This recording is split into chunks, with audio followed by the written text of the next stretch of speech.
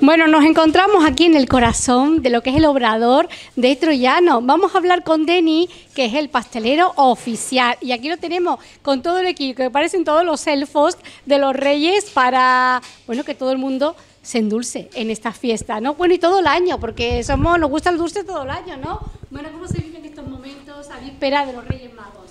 Bueno, en ese momento tenemos normalmente mucho trabajo porque es un momento de fiesta y la gente quiere, quiere hacer fiesta con, con nuestro dulce. Estos, estos roscos ya está- acaban de salir del horno.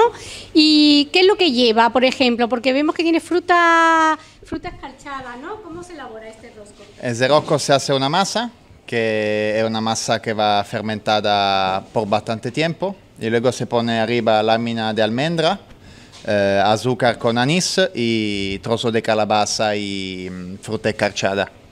Queda muy rico. Bueno, tiene una pinta buenísima. Pero Denis, cuéntame, porque luego eh, cada uno le gusta de un sabor, tú sabes, los paladares, cada uno tiene el suyo propio, ¿no? Por ejemplo, ¿cuáles son los rellenos que más eh, se trabajan en estos días? En absoluto el relleno que más se trabaja es lo de, lo de nata. Y, y por eso casi el 80% de nuestra producción es, es nata. Eh, luego hay también trufa, crema eh, y merengue. Y luego bajo encargo cualquier sabor eh, que tenemos en Hombre, venta. A mí me gusta el sabor a turrón, pues se rellena de turrón, ¿no? Claro. Cada uno el que le gusta. Cada ¿no? uno turrón, eh, también fruta, crema, lo que sea. De todo, ¿no?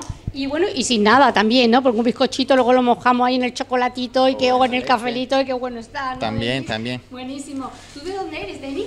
Yo soy de Italia. Y en Italia hay tradición también del rosco, del tronco. ¿Cuál es la tradición en Italia? En Italia es más panetone, pero en el sur de Italia hay un postre que es muy similar al roscón de reyes.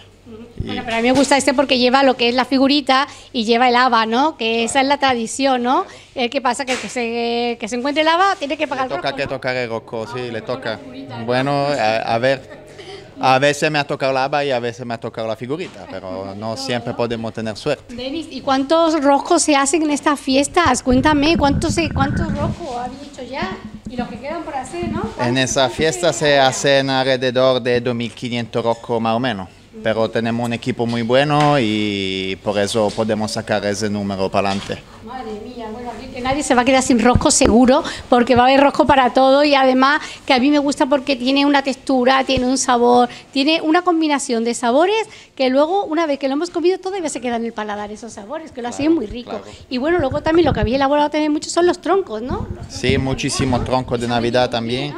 Se han vendido muy bien y hemos hecho selva negra, chocolate, eh, hemos hecho trufa y glace espejo por fuera y el clásico de nata con yema. Que vemos, Deni, que esto es un trabajo artesanal, donde todos estáis trabajando para que nosotros podamos saborearlo en estas fiestas y luego ya por los dulces que tenéis todo el año, que son muy ricos, y, lo- y los panes también, esos panes de Troyano, qué rico. Bueno, Denis, ¿qué le has pedido a los reyes?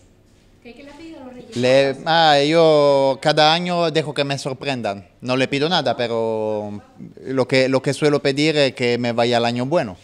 Y un billete de lotería, vamos, si, si me toca... Claro, claro, la lotería del niño. Si me toca, mejor todavía. Bueno, Deni, después de endulzar tú a todo el mundo, pues claro que vas a tener buenas sorpresas y buenos regalos todo el año, estoy totalmente segura. Feliz eh, Día de Reyes y feliz año, que vaya todo muy bien. Gracias, por atendernos, ¿eh?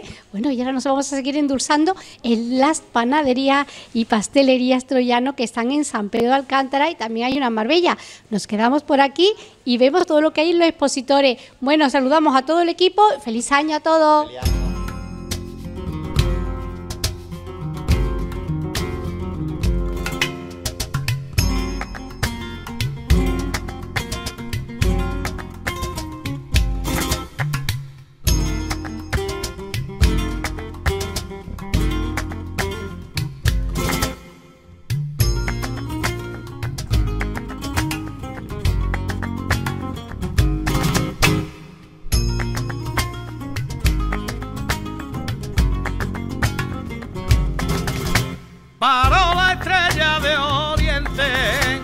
Encima de una palmera del palmera para que Herodes no intente seguirla por el sendero que lleva al portal y los chiquillos la ven brillar y gracioso como pajarillos se echan a cantar.